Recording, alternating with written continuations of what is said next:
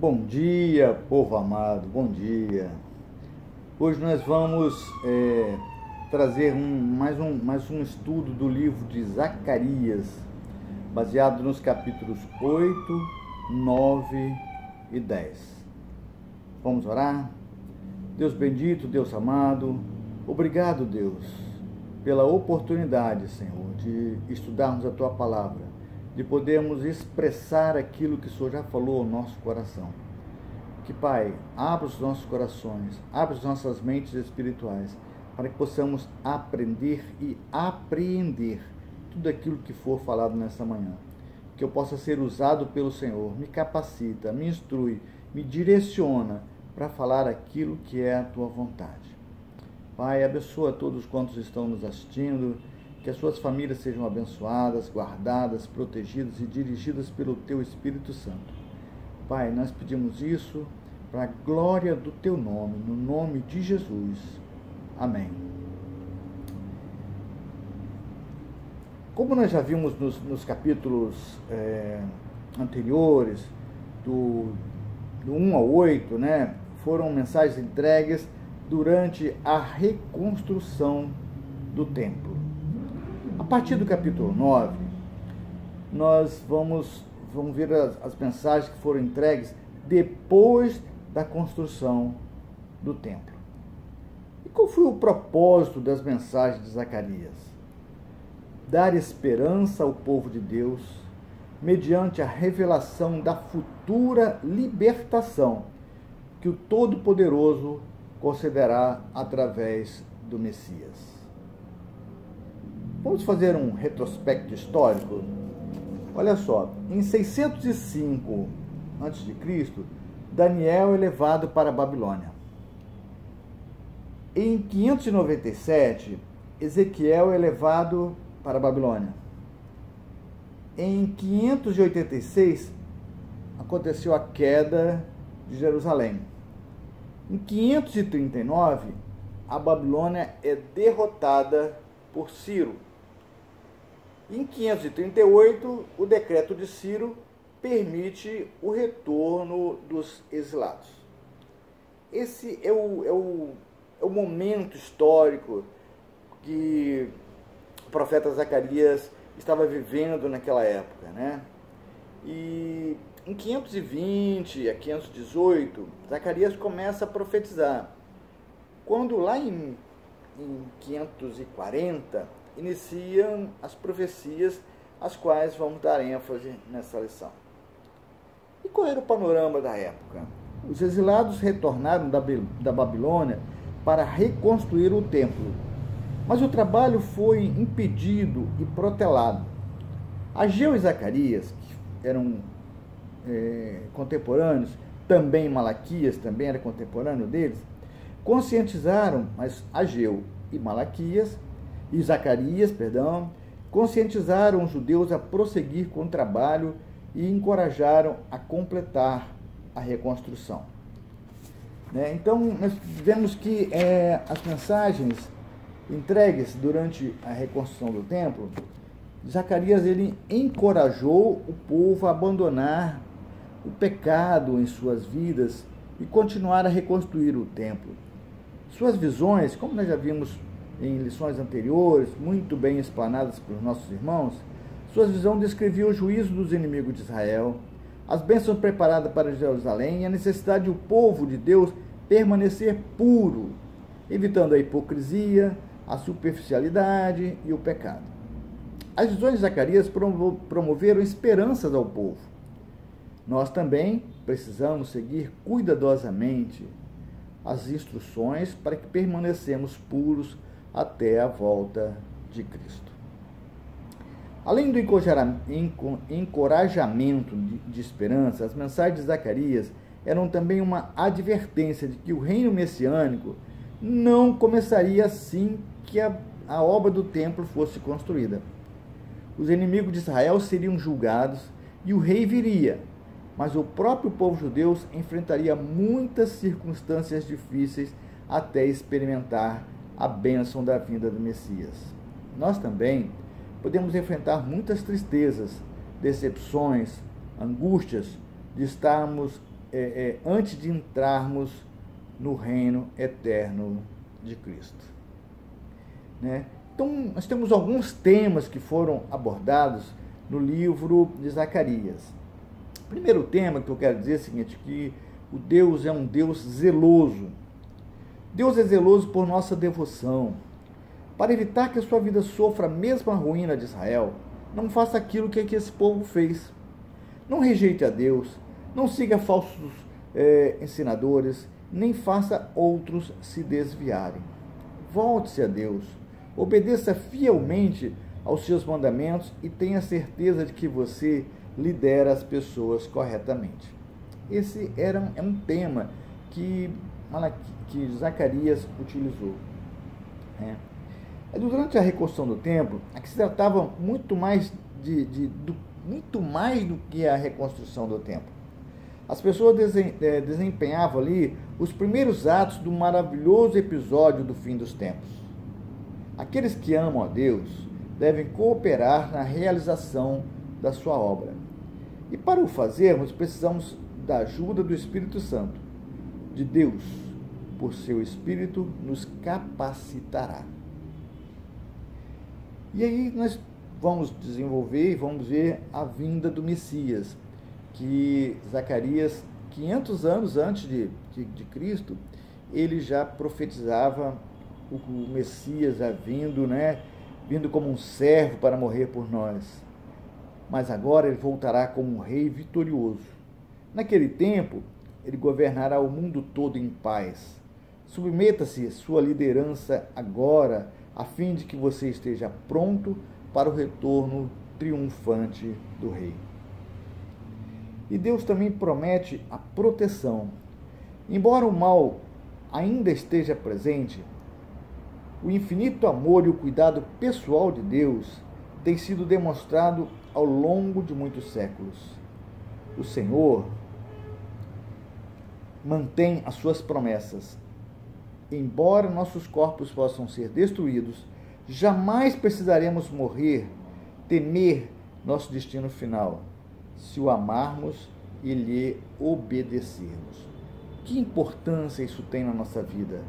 Como, como é bom saber que o amor de Deus nos constrange a fazer coisas que sejam da tua vontade. Né?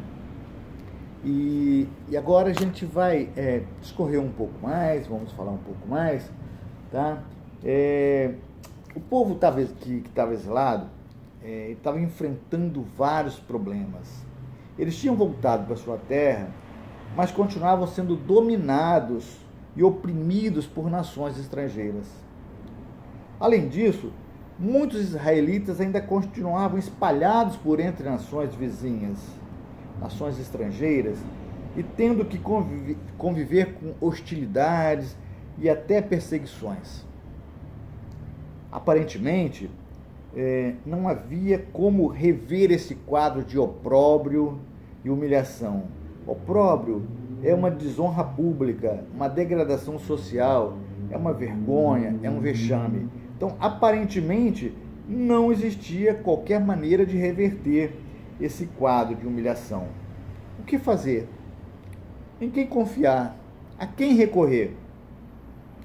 Aí no capítulo 8 podemos ver que Deus promete a restauração e a prosperidade do povo de Deus após é, haver repreendido o seu povo acerca da prática do, do, do, do, jejum insincero, o Senhor agora os consola com promessas de restauração e prosperidade.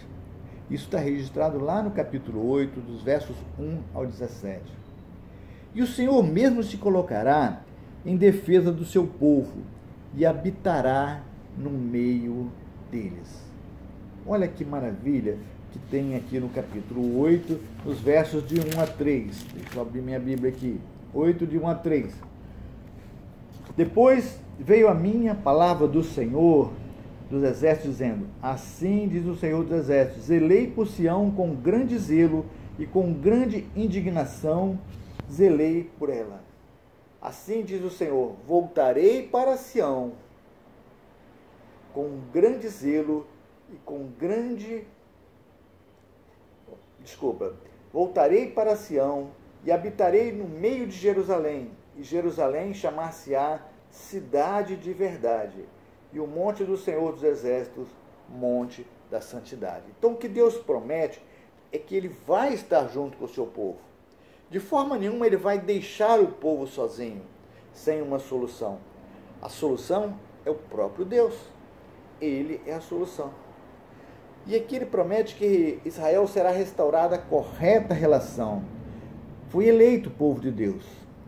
Como podemos ver no, no verso 8, que diz o seguinte: E tirá-lo-ei e habitarei no meio de Jerusalém, e serão o meu povo, e eu serei o seu Deus em verdade e em justiça. Que maravilha a certeza de que Deus tem nos escolhido. Nós que somos o Israel de Deus, nós que somos separados, povo separado para Ele. Que maravilha saber isso. E aí os exilados serão trazidos de todas as partes do mundo para repovoar sua própria terra. E não é o que a gente viu a partir do, da, da, da, compra do, do, do terreno lá da, de Israel pelas Nações Unidas, que o povo de Deus, o povo israelita, de todas as partes, estão voltando e formar uma nova, um novo, novo é, país. Isso é promessa de Deus. Isso não é simplesmente estratégia dos homens, mas é promessa do Senhor. E ele diz o seguinte: que as praças de Jerusalém serão novamente frequentadas por idosos e crianças, que nelas brincarão. A gente sabe que os idosos e as crianças são mais susceptíveis aos problemas, são os mais frágeis, são os mais é, facilmente debilitados por situações. E ele promete que Jerusalém será novamente frequentada por idosos e por crianças, que nelas brincarão. O Senhor mudará a sorte do seu povo, essa é a nossa certeza. O círculo vicioso de apostasia e juízo será quebrado de modo que o juízo se transformará em salvação, e as maldições serão transformadas em bênção, e a escassez em prosperidade. Que maravilhas são as promessas do Senhor. Né? E aí, a nova mensagem trazida pelo profeta garante ao povo de Deus que futuramente ela também gozará da alegria e prestígio internacional. Não é o que nós temos visto agora? A gente não tem visto aí os, tantos os progressos na medicina, na ciência, na, na, na arte, na guerra do povo israelense? Puxa vida, isso aí não é um acaso, isso é simplesmente promessa de Deus. O Senhor declara que, nos, que os dias de jejum de Judá se transformarão em festas e de júbilo. Nós lemos lá e vimos lá em, em, quando a Elizabeth mostrou na semana, semana passada jejum de, de, de, de vários, vários, vários dias, meses. Há 70 anos que eles faziam aqueles jejuns e eram jejuns sem fundamento. É, não estava ali com, com o seu pensamento voltado para Deus, na verdade. E aí ele promete o seguinte, que é, esse jejum, os dias de jejum serão transformados em tempos de festa e júbilo e as nações irão a Jerusalém para cultuar ao Senhor. Que coisa maravilhosa que está aqui nos versos 20 a 22. Olha que maravilha, olha só. Assim diz o Senhor dos Exércitos: ainda sucederá que virão povos e habitantes de muitas cidades. E os habitantes das cidades irão a outra, dizendo: Vamos depressa suplicar o favor do Senhor e buscar o Senhor dos Exércitos. Eu também irei. Assim virão muitos povos e poderosas nações buscar em Jerusalém o Senhor dos Exércitos e suplicar a bênção do Senhor.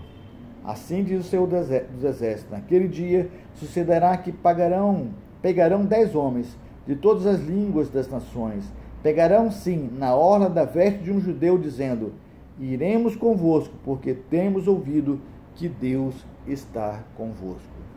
Que bênção, que maravilha saber que Deus tem é, um preparado um plano final para os seus filhos, para o Israel de Deus. Puxa vida, isso é maravilhoso saber que nós estamos incluídos nesse plano. Nós somos partes é, desse plano.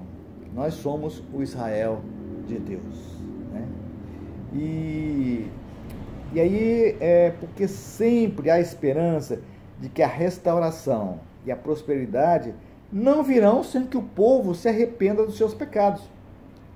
Volte para o Senhor e adote práticas eticamente corretas. Puxa vida, nós vimos aí que eles faziam aquelas práticas de jejum, de, de, de várias, várias festas que eles faziam, mas eticamente eles não estavam comprovadamente fazendo aquilo que era vontade do Senhor. E o Senhor não se agradou daquilo. Mas o amor dele é tão grande que ele promete que vai restaurar toda a beleza, a força daquelas, daquelas pessoas. É.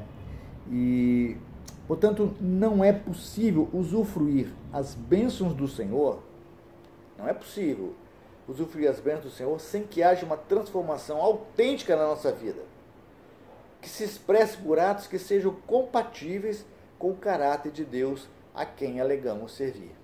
Se nós servimos a Deus, nós temos que resplandecer a face de Deus. Nós temos que ser parecidos com Deus. Nós temos que ser imitadores, como Paulo disse, seres meus imitadores, como eu sou de Cristo. Nós temos que ser imitadores, porque nós fomos criados à imagem e semelhança de Deus, isto é, com o caráter de Deus. Assim, para que recebamos as bênçãos de Deus, precisamos primeiramente receber o Deus das bênçãos. De nada adianta eu querer ser abençoado se eu não louvar a quem pode me abençoar. É Deus que pode me abençoar. Primeiro eu tenho que receber Deus, depois é o Deus da bênção. Depois sim eu receber as bênçãos de Deus. Essa que é a verdade, né? E a gente vai ver aqui que é, Jesus, é, Zacarias entregou várias, várias profecias sobre o futuro de Israel que descreve a primeira e a segunda vinda de Cristo. Esse livro contém mais sobre a pessoa e a obra e a glória do Messias que todos os outros profetas menores juntos. O rei de Israel viria, mas seria rejeitado pelo seu povo. Mais tarde, eles se arrependeriam e seriam restaurados a Deus. O rei que virá será nosso rei, que possamos ser achados fiéis e puros a seus olhos quando o encontrarmos face a face. E agora no capítulo 9, nós vemos é, as sentenças do Senhor contra as nações orgulhosas, aquelas nações que oprimiam, aquelas nações que subjugavam Israel, que subjugavam os judeus, né? o castigo agora de diversos povos. Então, novamente, o Senhor anuncia o juízo e a destruição que empreenderá contra todas as nações que perseguiram e oprimiram o seu povo. Palavra de Deus, a palavra do Senhor, seja de bênção ou de juízo, invariavelmente atingirá o seu alvo. Não existe nada na Bíblia que não seja um alvo específico.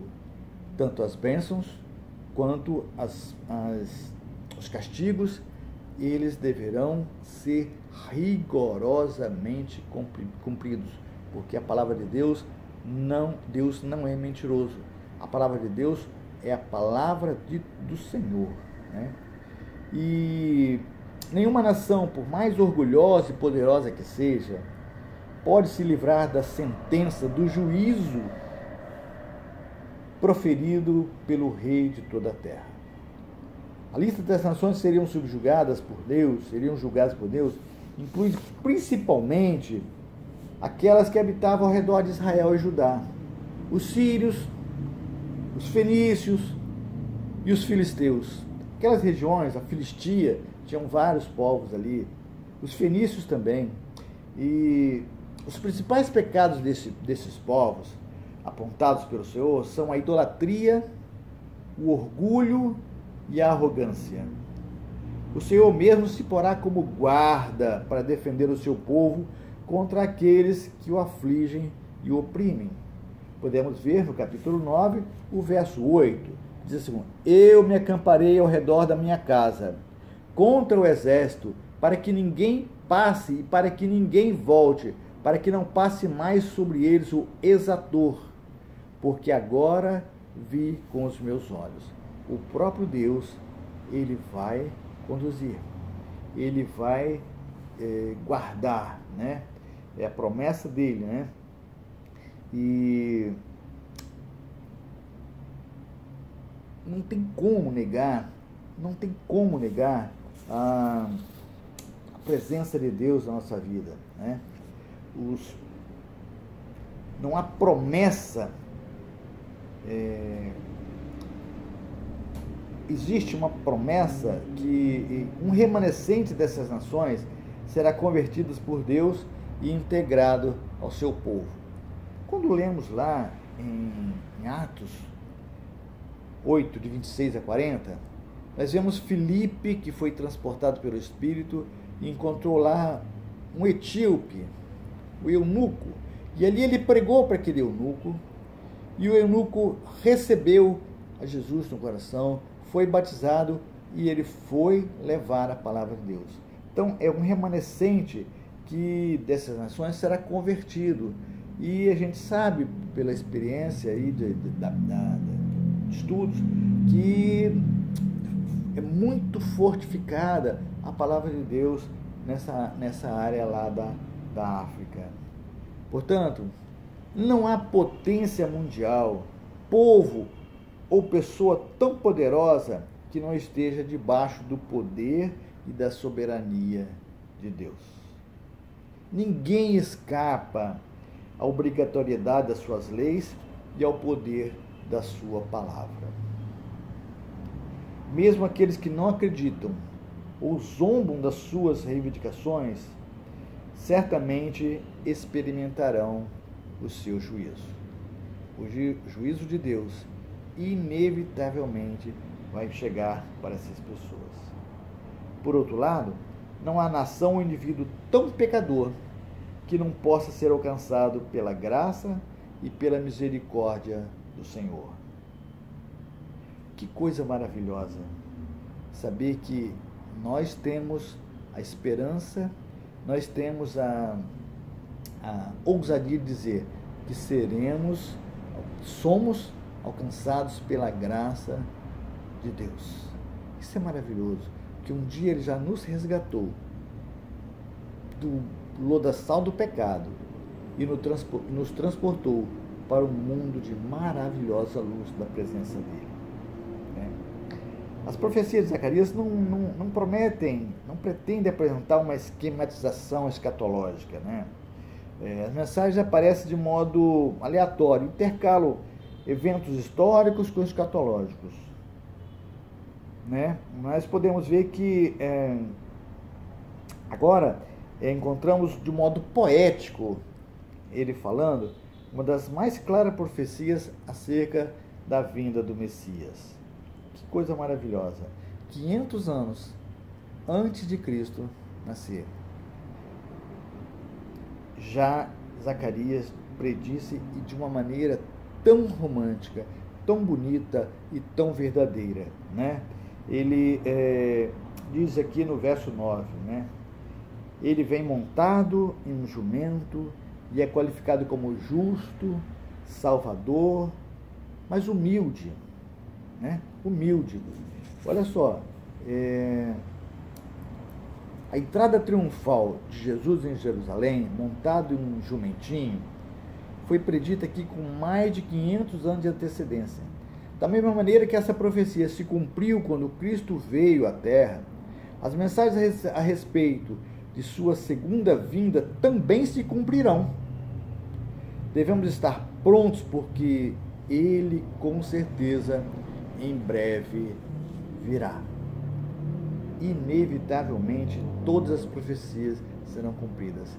E a volta de Cristo a segunda volta de Cristo, ele veio a primeira vez como servo, agora ele virá como juiz. Então, estejamos preparados com os nossos corações, com os nossos nossa vontade de servir a Deus da melhor maneira, porque ele voltará.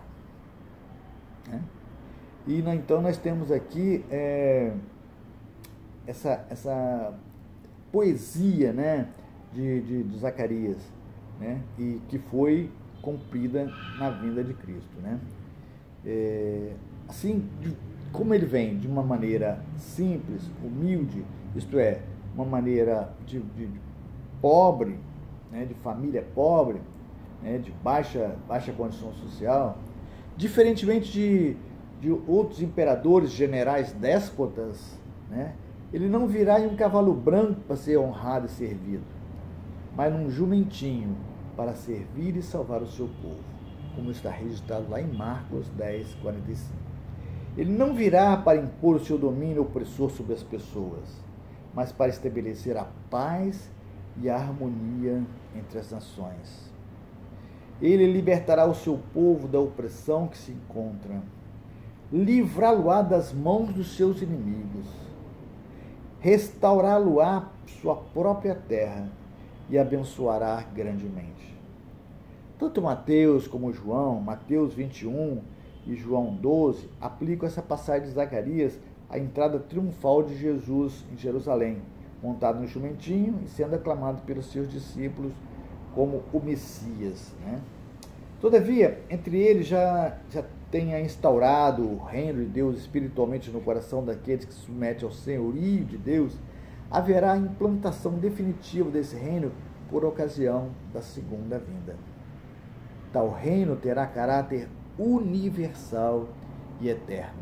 Daniel já disse isso em 2,44 e Mateus 25 também nós podemos ver que essa segunda vinda de Cristo é triunfal, mas como juiz é de caráter universal e eterno. Né? E temos as promessas que foram feitas a Israel. Né? Promessa de purificação e restauração do seu povo. Né? Isso temos no, no capítulo 10 de Zacarias. O povo confiava em falsos deuses, na esperança de que lhe dariam chuva para regar suas plantações. Porém, o Senhor promete fazer aquilo que os ídolos não tinham feito e nem podiam fazer. Os líderes são repreendidos porque não tinham conduzido o povo da maneira correta, de acordo com a vontade do Senhor. Diante disso, o Senhor mesmo tomaria a liderança e conduziria o seu povo à vitória diante dos seus inimigos. A promessa de que a pedra angular pelo qual o Senhor reconstruirá o seu povo sairá da tribo de Judá. Está no verso 4 do capítulo 10. No Novo Testamento, a metáfora de pedra angular é várias vezes aplicada é, ao Senhor Jesus como Messias Salvador do seu povo. Isso podemos ver em Mateus, em Atos, Efésios, 1 Pedro. O Senhor mesmo congregará o seu povo diante de todas as nações por onde foi espalhado e o restaurará em sua própria terra. Está lá no verso 6 do capítulo 10. Nunca mais eles serão oprimidos por qualquer nação, pois o Senhor mesmo os fortalecerá. Essa é a promessa de Deus. Como povo de Deus, nós precisamos confiar que a nova restauração e a libertação virá somente dele não podemos esperar outras pretensas fontes, aquilo que somente o Senhor pode dar. Somente Deus pode nos conceder bênçãos verdadeiras. Somente dele pode vir a salvação, a libertação e o livramento das situações angustiantes nas quais nos encontramos.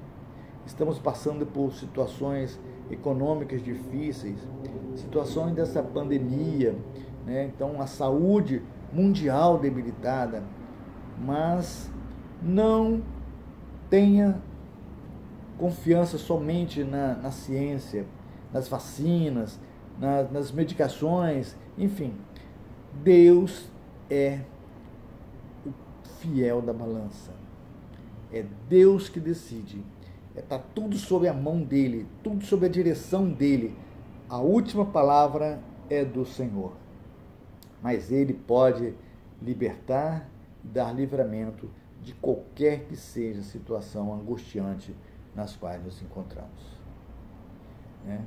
E Deus promete ao seu povo que os libertará, que os congregará diante de, dentre todas as nações por onde estavam espalhados. Como um pastor, o Senhor guiará e cuidará o seu próprio povo. O instrumento dessa restauração seria o Messias Salvador que viria da tribo de Judá. Por meio dele, o Senhor restaurará o seu povo em sua própria terra, mas também alcançará e abençoará todas as nações da terra. Israel cumprirá sua verdadeira vocação, sendo bênção para todos os povos.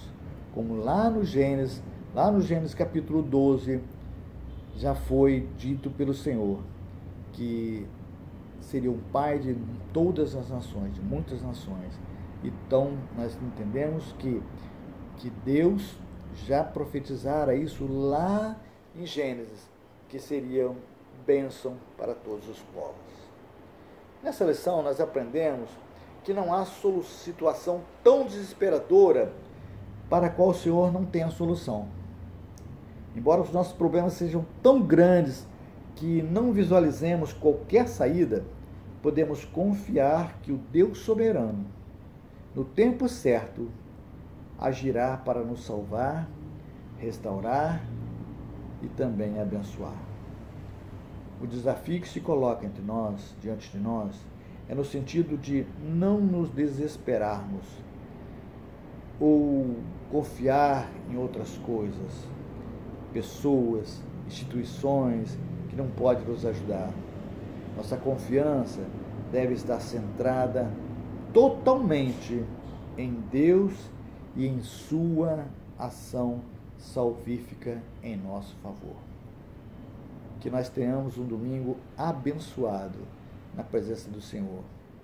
Que esta palavra possa alcançar muitos corações e que, através da, da minha palavra, que eu tenha sido é, usado pelo Senhor como instrumento do Senhor para falar a tantas pessoas que porventura vão nos assistir no, no YouTube. Que Deus abençoe a vida de cada um e abençoe e continue a abençoar a minha vida também. Pedimos isso, agradecemos, não porque somos capazes, mas porque Deus nos capacita.